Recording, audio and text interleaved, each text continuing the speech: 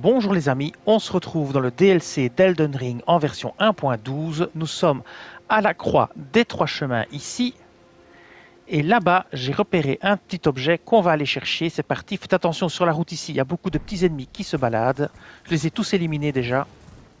Ou en tout cas une grande partie.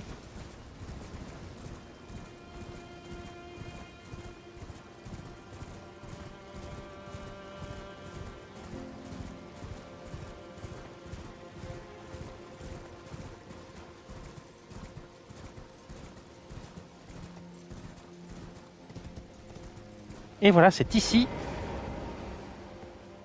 Vous avez un objet bleu.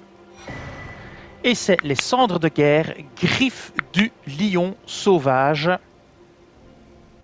La voici, cendres de guerre, griffes du lion sauvage, utilisable sur les épées, les haches et les masses, sauf les épées des stocks, coût en PC 20 et puis 10, octroi des affinités et des compétences à une arme. Griffe du lion sauvage, compétence provenant d'une personne particulièrement courageuse, même pour un lion rouge, vous bondissez vers l'avant et frappez vos ennemis à l'aide de votre arme. Enchaînez cette compétence pour effectuer une autre attaque, utilisable sur les épées, les lames doubles, les haches et les marteaux. Et voilà, vous savez maintenant où trouver les cendres de guerre griffes du lion sauvage. Je vous dis merci et à bientôt pour d'autres vidéos sur Elden Ring.